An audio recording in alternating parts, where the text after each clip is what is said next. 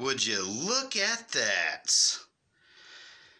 Eden McCoy from General Hospital. She plays Josslyn Jacks.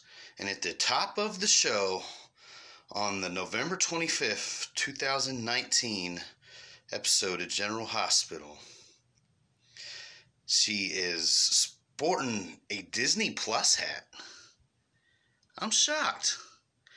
That has got to be the most blatant product placement I have ever seen.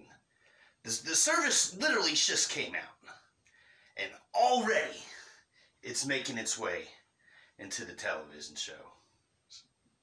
Yes, I know ABC is owned by Disney, but really, really, they want all of our money. They have everything that we used to watch as kids. All of the new movies, all of the 3D stuff from Pixar, and all of the stuff that we could ever want. It's all there on the Disney network, on Disney Plus, and everybody, man, woman, child, young and old, middle aged, must get this service. The greed is real.